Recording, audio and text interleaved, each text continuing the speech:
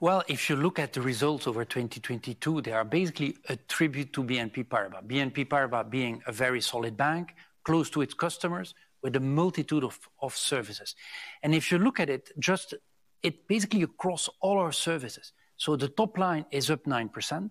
We operate with positive jaws. Cost of risk is low at 31 basis points over outstanding, and therefore, the bottom line up 7.5%. So it's basically the bank is very well diversified, is off to a very good start of its plan, and basically, that is what we see. So it's basically across all of those services that we see this growth. Can we look specifically at CIB? Of course, very good again in Q4, revenue up 18.2%. Um, equities, though, is one that's been going down, even though it's one part of the business where you've been investing heavily and pushing quite heavily. So, how do you see the activity going within this specific part of the business? Yeah, if you look at it, our CIB is very well diversified, right? We are in fixed income, we are in equities, we are in corporate banking. And so what typically is, there can be one quarter or another, there can be more demand in fixed income, or there can be more uh, demand in prime markets, or there can be more in equity.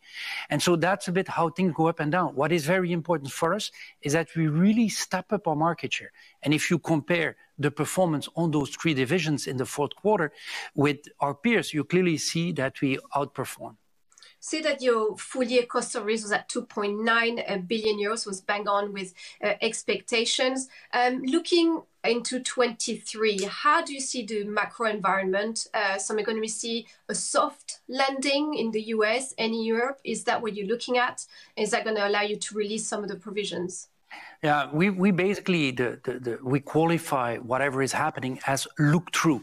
What I mean by that is it's gonna take maybe one, two quarters. It could be a slowdown, it could be a stagnation, it could be, but it should be of short in duration, and then business should pick up. And so that is why if you look at that, and if you look at our clients, which are basically the large corporates, they are very well diversified. So on the side of BNP Paribas, we don't expect any material pickup in cost of risk, and that's why we've guided across all of the years to come, that our cost of risk would be below 40 basis points, which is already what you saw in 2022, and that is what we expect going forward.